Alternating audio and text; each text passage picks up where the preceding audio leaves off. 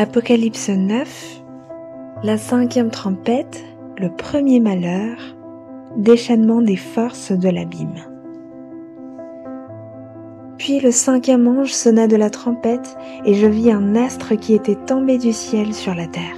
La clé du puits de l'abîme lui fut donnée. Il ouvrit le puits de l'abîme, et une fumée épaisse s'en éleva comme celle d'une grande fournaise.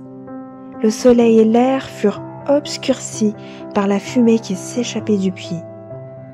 De cette fumée sortirent des sauterelles qui se répandirent sur la terre. Il leur fut donné un pouvoir semblable à celui des scorpions. Elles reçurent l'ordre de ne pas faire de mal à l'herbe de la terre, ni à aucune plante verte, ni à aucun arbre, mais de s'attaquer seulement aux hommes qui ne portent pas le sceau de Dieu sur le front il leur fut donné non pas de les tuer, mais de les torturer pendant cinq mois.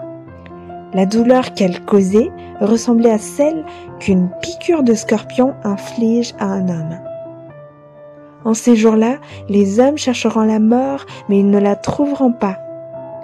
Ils l'appelleront de leur vœu, mais la mort les fuira. Ces sauterelles ressemblaient à des chevaux harnachés pour la bataille.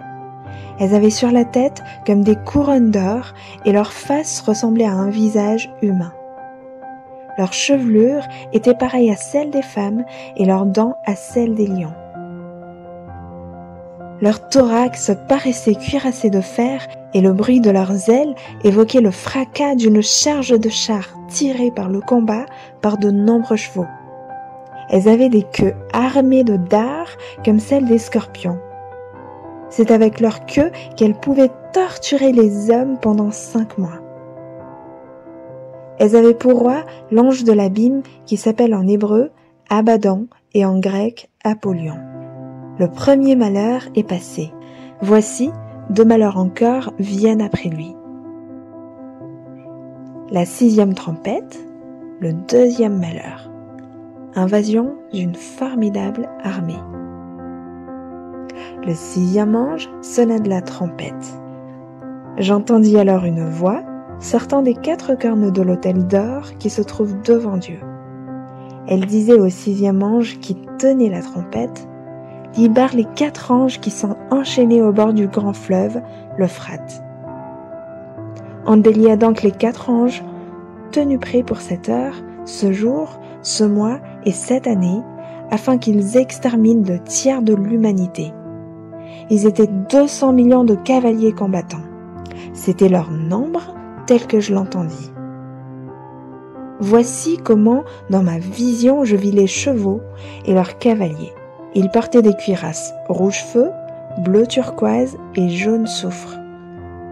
Les têtes des chevaux rappelaient celles des lions et leurs gueules crachaient du feu, de la fumée et du soufre.